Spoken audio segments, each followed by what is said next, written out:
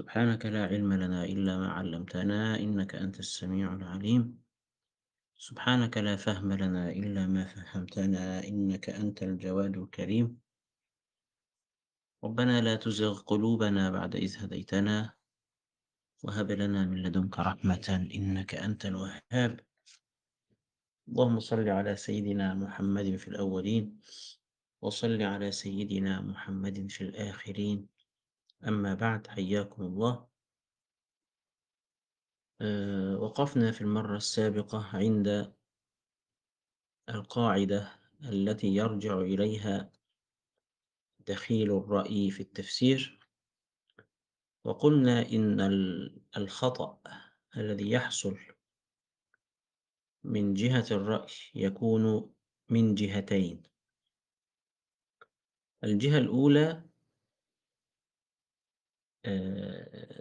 اعتقاد معان ثم حمل ألفاظ القرآن على هذه المعاني. يعني أن يكون الإنسان في عقله معان سواء كانت هذه المعاني صحيحة أو غير صحيحة. ثم بعد ذلك يبحث في القرآن عما تدل عليه هذه المعاني. وهذا العمل خطأ لأنه في سبيل إثبات المعنى الذي في عقله آه، سيغفل آيات أخرى ربما سيغفل أحاديث سيغفل إجماعات. فهذا خلل علمي قلما يصيب بسببه إنسان. وهؤلاء كما قلنا تارة يسلبون لفظ القرآن ما دل عليه وتارة لا يسلبونه. يعني ربما يقول المعنى الذي في عقلي هو الصحيح وما سواه خطأ. وربما يقول المعنى الذي في عقلي صحيح وغيره أيضا صواب. في الحالتين هو أخطأ سواء سلب لفظ القرآن ما دل عليه أو لم يفعل ذلك. أو لم يفعل أو لم يفعل ذلك.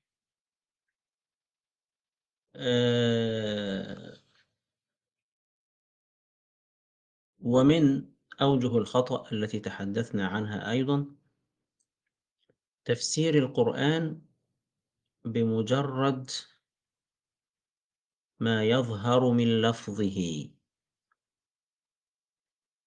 من غير مراعاة للسياق من غير مراعاة للمتكلم بالقرآن من غير مراعاة للمخاطب بالقرآن. لأنه السياق له دخل في المعنى. المخاطب له دخل في المعنى. معرفة المخاطب له دخل في المعنى. كل هذا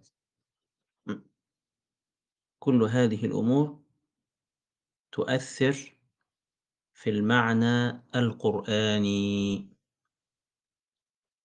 فإغفال كل هذا واختزال المعنى الرباني في اللغة فقط هذا يوقع في الخطأ على أهمية اللغة. يعني ليس معنى هذا الكلام أننا لا نراعي اللغة نحن لا نقول ذلك طبعا وهذا أعتقد واضح. ثم قلنا المرة اللي فاتت إنه الخطأ الذي من الجهة الأولى وهو اعتقاد معان ثم البحث في القرآن عن صحة هذه المعاني. قلنا إن هذا الخطأ يقع على أربع صور. الصورة الأولى أن يكون المعنى الذي أريده صوابا ومع ذلك أنا لا أنفي المعنى الظاهر أو أن يكون المعنى الذي أريده صوابا مع نفي المعنى الظاهر أو أن يكون المعنى الذي أريده خطأ مع عدم نفي المعنى الظاهر أو أن يكون المعنى الذي أريده خطأ مع نفي المعنى الظاهر. يبقى العلاقة بين المعنى الذي أريده سواء كان صواب أو خطأ بيتفاعل مع هل أنا أنفي ظاهر القرآن أو لا أنفي ظاهر القرآن ينتج لي هذا كله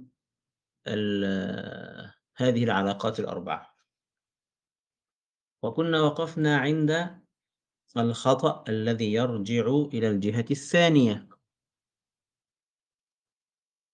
الخطأ الذي يرجع إلى الجهة الثانية ما هي الجهة الثانية؟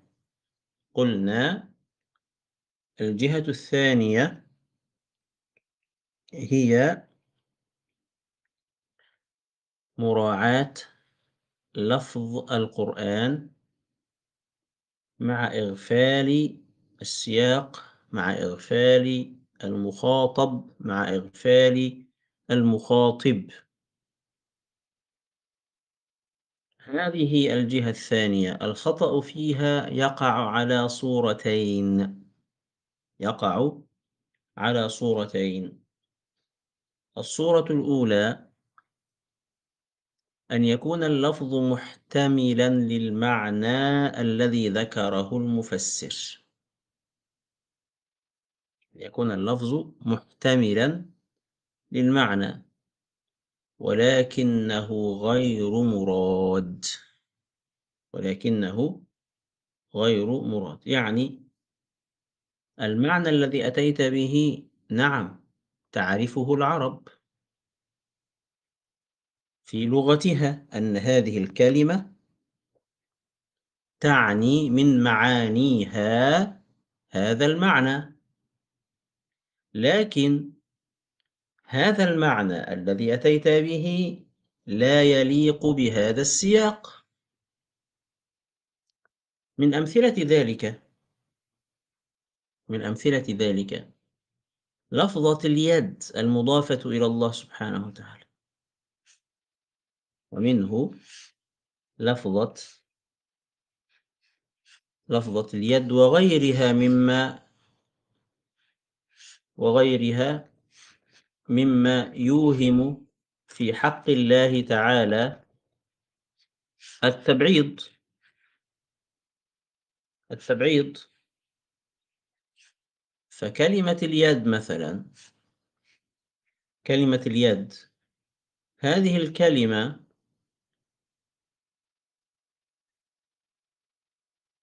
إذا سألنا العربي هل كلمة اليد تعني الجارحة؟ سيقول نعم. العرب تعرف اليد بمعنى الجارحة. العرب تعرف اليد بمعنى القدرة. العرب تعرف اليد بمعنى النعمة وهكذا. طيب. في القرآن أضيفت هذه الكلمة إلى الله. فإذا هذه الكلمة تحتمل لغة كل المعاني التي تعرفها العرب. لكن السؤال هنا المهم هل هذا المعنى المحتمل يليق بالسياق؟ هل هذا المعنى المحتمل يليق بمن أضيف إليه هذه من أضيف إليه هذه الكلمة؟ عندما تقول يد الله. يد الله. اليد بمعنى الجارحة هذا محتمل لغة لكن هل هذا هو المراد؟ هل المراد نسبة البعض إلى الله؟ هل المراد أن يفهم المسلم أن الله له أجزاء منها اليد؟ هل هذا هو المراد؟ ليس هذا هو المراد قطعا لقوله تعالى ليس كمثله شيء فمن يحمل اليد على الجارحة من يحمل العين المضافة إلى الله على الباصرة كل هذا كل هذا غير مراد فتفسيره دخيل. ومثله ومثله حمل مخالفات الأنبياء عليهم السلام على ظاهر كونها معصية. لما تقرأ في القرآن وعصى آدم ربه فغوى ثم تأتي بعد ذلك وتقول كلمة المعصية تعني مخالفة الأمر من معانيها مخالفة الأمر. ثم تريد أن تضيف المعصية التي هي مخالفة الأمر لآدم أو لسيدنا محمد أو لسيدنا إبراهيم أو لسيدنا يونس أو غيرهم من الأنبياء. أو غيرهم من الأنبياء. هل المعصية تعني مخالفة الأمر لشهوة نفسانية؟ نعم. نعم هذا معنى المعصية. لكن هل هذا هو المراد؟ آه ليس هذا هو المراد لأنه معاصي الأنبياء عليهم السلام إما ترك الأولى وإما إرادة الطاعة مع الخطأ في وجهة الطاعة. إرادة الطاعة مع الخطأ في وجهة الطاعة فمعاصي الأنبياء عليهم السلام المذكورة في القرآن أو نحو ذلك لا تحمل على حقيقة المعصية التي هي إرادة مخالفة الأمر لشهوة نفسانية. ويعاتبهم الله سبحانه وتعالى في القرآن لأن حسنات الأبرار سيئات المقربين. فهم عليهم السلام نظرا لمكانتهم العالية. فإن الله سبحانه وتعالى يحاسبهم بما لا يحاسب غيرهم ويعاتبهم بما لا يعاتب غيرهم. نظرا لمكانتهم العالية. وفي عتاب الله سبحانه وتعالى لأنبيائه في القرآن فوائد كثيرة عقدية وفقهية لسنا في حاجة إليها الآن لكن المهم أن نعلم أن حمل مخالفات الأنبياء على ظاهرها غير مراد. فلا ينبغي أن تفسر أمثال هذه الآيات وفقا للاحتمال اللغوي فقط.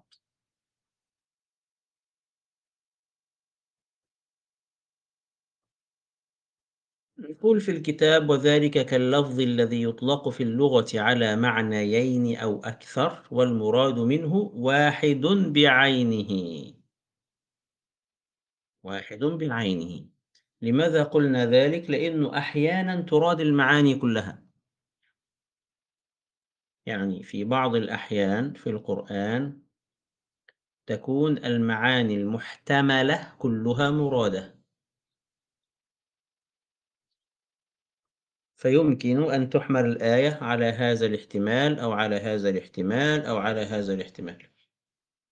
وفي بعض الأحيان تكون المعاني المحتملة كلها مرادة إلا معنى واحدا. وفي بعض الأحيان لا تكون المعاني محتملة إلا احتمالا واحدا. يعني هذا يخضع للقواعد العلمية. فإذا كان اللفظ محتملا لمعنى من المعاني ثم أتيت أنت لمعنى من المعاني غير المحتملة وفسرت به الآية فهذا يجعل تفسيرك دخيلا. فيأتي المفسر فيحمله على معنى آخر من معانيه غير المعنى المراد. يأتي للمعنى الذي لا يريده الله سبحانه وتعالى. وماذا يفعل؟ يحمله على غير المراد. يحمله على غير المراد. وذلك كلفظ أمة.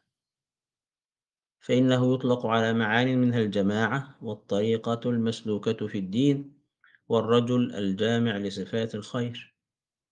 إذا كلمة أمة تحتمل هذه المعاني جميعا. تحتمل الجماعة. تحتمل الطريقة المسلوكة في الدين. تحتمل الرجل الذي يجمع الصفات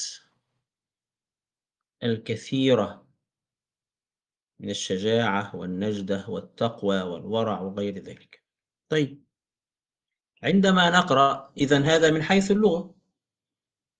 تعال نطبق هذا على آية من القرآن. فعندما نقرأ مثلا قول الله تعالى بل قالوا إنا وجدنا آباءنا على أمة. أنت عندما تفتح الآن معاجم اللغة العربية ستجد أن كلمة أمة تعني الطريقة تعني الرجل الجامع تعني الجماعة.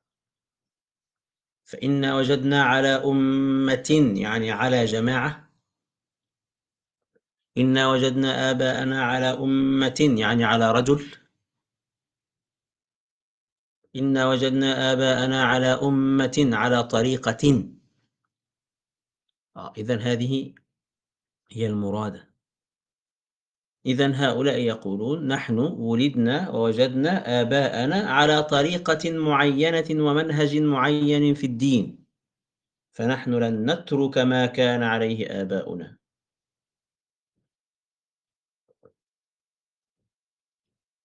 فهذا هو المعنى المراد. عندما تأتي أنت وتحمل كلمة أمة على غير ذلك تكون عندئذ قد أخطأت وإن كان اللفظ يحتمل ما قلت من حيث اللغة. لأنه ليس كل القاعدة ليس كل ما صح لغة. ليس كل ما صح لغة. صح حمل ألفاظ القرآن عليه.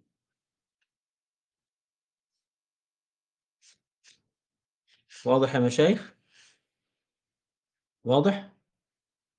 ليس كل ما صح من حيث اللغة صح لنا أن نحمل ألفاظ القرآن عليه. فإذا كون حضرتك متخصص في اللغة العربية أو متخصص في الأدب العربي مثلا أو أنت تعمقت في دراسة علم الأصوات أو نحو ذلك من التخصصات الحديثة. هذا لا يعطيك الحق في تفسير كلام الله سبحانه وتعالى.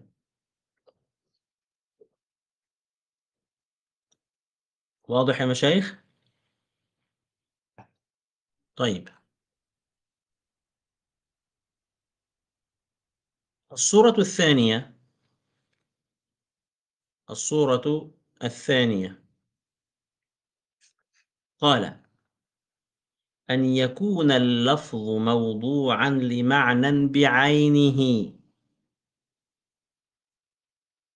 لاحظ هنا. في الصورة الأولى اللفظة تحتمل معان كثيرة. اللفظة تحتمل معان كثيرة. في الصورة الثانية اللفظة وضعت في اللغة لمعنى. وضعت في اللغة لمعنى. يعني معنى الكلمة الحقيقي هو هذا. لكن المعنى الحقيقي ليس هو المراد. المعنى الحقيقي ليس هو المراد.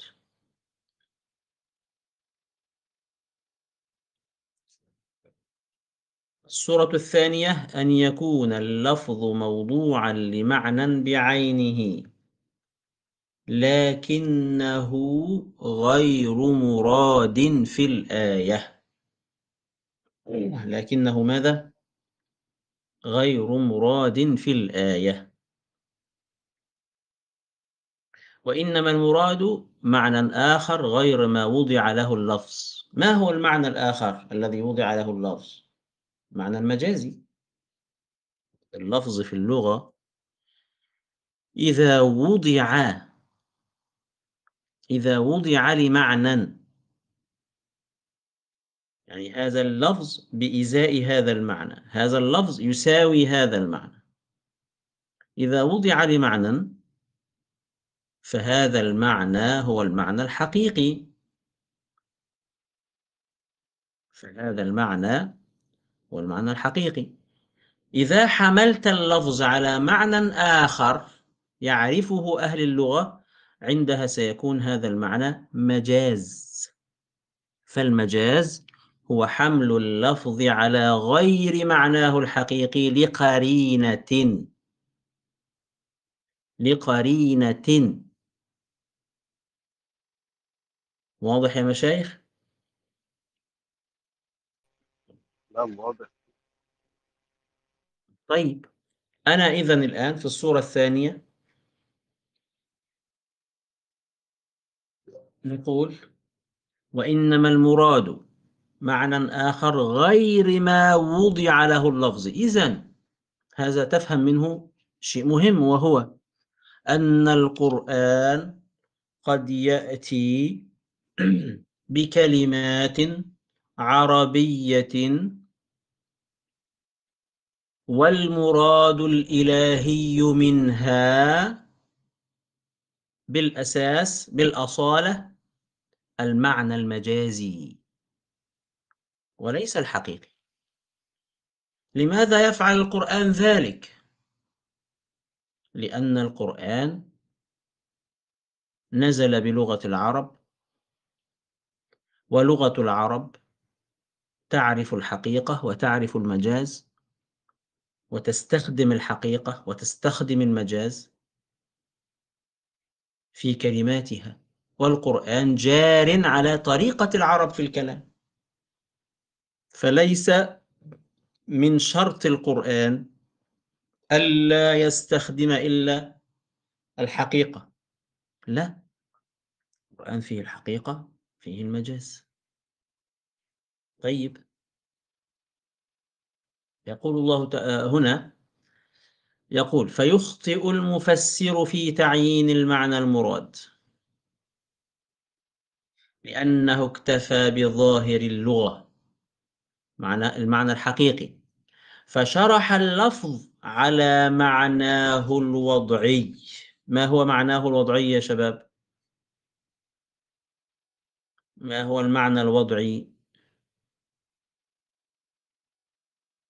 المعنى الوضعي هو المعنى الحقيقي الذي وضع له اللفظ.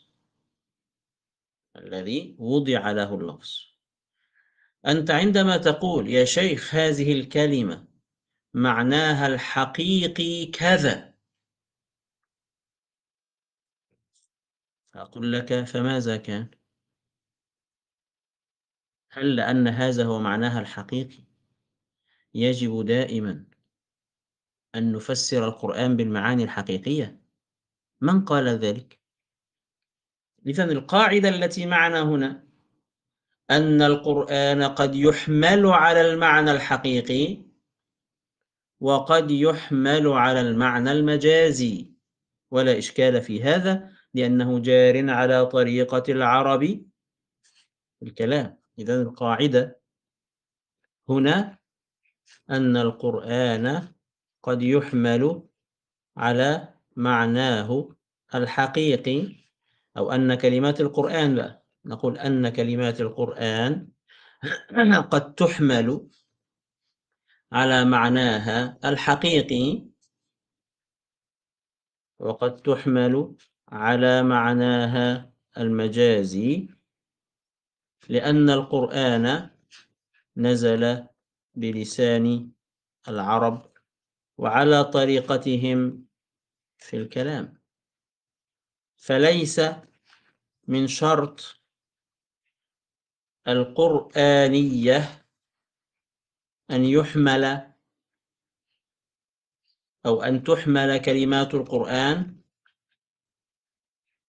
على المعنى الحقيقي حصرا. واضح يا مشايخ؟ طيب. نقول.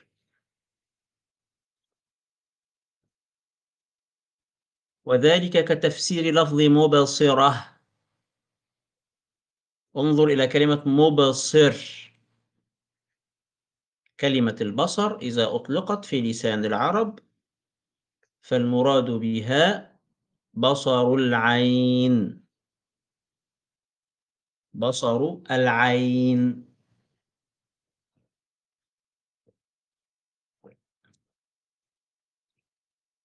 طيب تعالوا نقرأ هذه الآية. تعالوا نقرأ هذه الآية. يقول الله تعالى وآتينا ثمود الناقة مبصرة. من لا يفهم هذه القاعدة التي تحدثنا عنها؟ سيقول معنى الآية أن الله سبحانه وتعالى أنزل آية هذه الآية هي ناقة لها عين.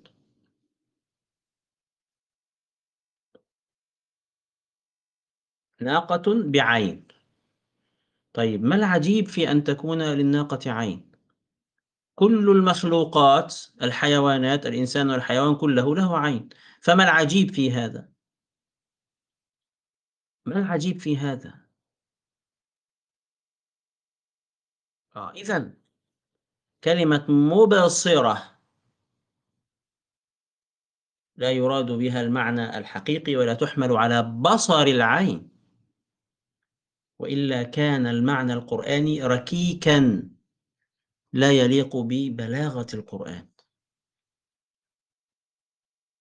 فالمراد ليس الناقة هي المبصرة بل ها هنا مجاز بالحذف. الناقة عبارة عن معجزة عبارة عن آية. عبارة عن إلزام للمعاندين. والآيات التي يأتي بها الأنبياء عليهم السلام آيات واضحات. تلزم صاحب العقل السليم. فإذا يكون المعنى. وآتينا ثمود الناقة آية مبصرة آية واضحة. فهذا هو المراد. حمل الآية كلمة مبصرة على أنها بصر العين. هذا يجعل المعنى أو يجعل المفسر تفسيره دخيلا لأن لأن حمل الإبصار هنا على إبصار العين ليس هو المراد بل المراد آية واضحة ملزمة للمعاندين قاهرة لهم كشأن سائر الأنبياء سائر آيات الأنبياء جميعا.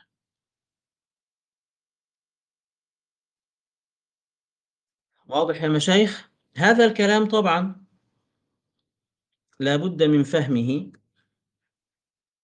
لا بد من فهمه جيدا. حتى تعرفوا خطأ من ينكر وجود المجاز في القرآن. القرآن فيه الحقيقة فيه المجاز لأنه بلسان العرب ولسان العرب فيه فيه ذلك كله. طيب. ثم بعد ذكر هذه التفريعات الستة على الجهتين اللتين ذكرهما ابن تيمية الآن يمكن أن نفصل القول. نحن قلنا الدخيل يرجع إلى جهتين. إما مراعاة المعنى وإغفال اللفظ أو مراعاة اللفظ وإغفال السياق. إذا عندنا إيه؟ عندنا جهتين الآن.